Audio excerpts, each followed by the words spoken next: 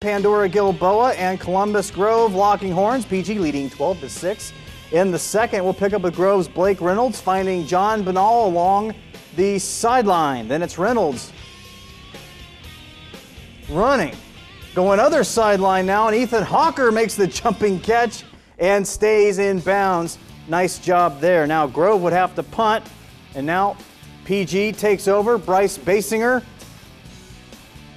Actually, this is Reynolds. Gavin Beery with the sack. Now PG taking over. Bryce Basinger getting the handoff and gets a big first down, but that drive would stall out. Grove back on offense. Reynolds showing off the big arm, airing out to Alex Schneider, who makes the helmet grab. Seen that before. Holds on for the touchdown.